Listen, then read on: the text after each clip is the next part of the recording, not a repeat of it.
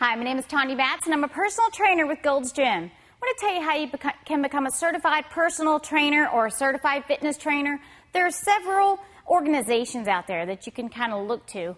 There's a certain website, it's IFTA, Interactive Fitness Trainers of America, or AFAA, the American Fitness Association of America. Those are two great organizations. Kind of go on their website and see if they're coming to a gym near you or a town near you.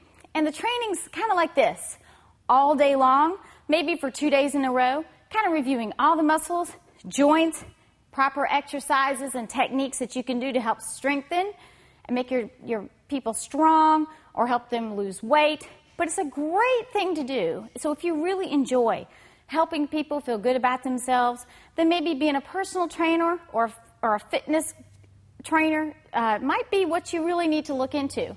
It's just a great way to kind of stay in the community, help people out. It's a great group of friends. So, might be what you need to do, and that's how you need to become a certified personal trainer.